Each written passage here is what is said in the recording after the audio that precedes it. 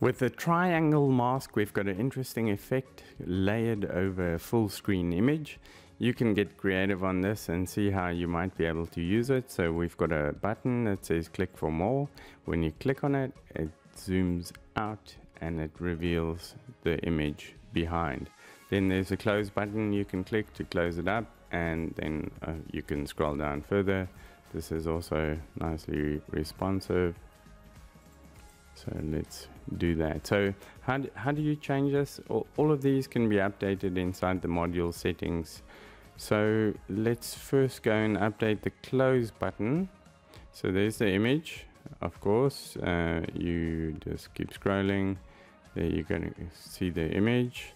Uh, this you can upload and just make sure that you use a big image. If you want to use it full screen um, don't make it too big otherwise it's um, going to be a problem for the page to load. So crunch the image make it small but then um, also make sure that it doesn't distort if it needs to stretch to full screen. So that's the image settings. Let's go and have a look at the button. Uh, the button we want to change to a different color uh, there we go. I'm just going to go with a uh, green over here. There we go. We'll just go with that one. And then we want to go to the advanced settings because we want to change. Um, okay, I, am not sure. That, there we go. So we, we want to change this uh, background color there. Let's close this out. For, for that diagonal line. The diagonal line is in the advanced settings and here you'll see a background color. Uh, I recognize that EB EB color that's gray. And then just scroll through and see if there's anything further. If there's nothing we can save and exit. So that's the close button done. Next we want to go to the rest of the item. So there's a click more button uh, on the front and some text these uh, elements that you have here, we've labeled it out. So mask 1, mask border 2, mask border 3.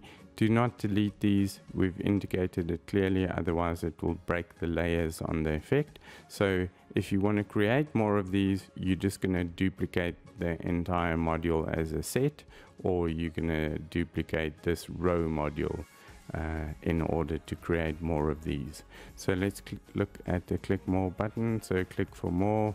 Um, you can update that text obviously. Let's go to design and then there we're going to change to another green again. Um, and then let's see what else there is. There was the gray diagonal line as well. So we go to advanced and I'm just going to update that again over there and let's have a final look. Here we go. So now we can preview. So that's been updated. And let's save. Let's update. And let's do a final review. There we go. So that's updated. I'll show you where to do that in a sec. When you click for more that's also there. So you can close it up and we reset over there. So um, let's look about and we are awesome. Normally we have it labeled that so there it is the about text.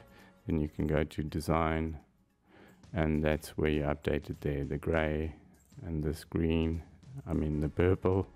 Uh, so save update and then reload. There we go that's updated. So that's how you update this triangle mask. Thanks for watching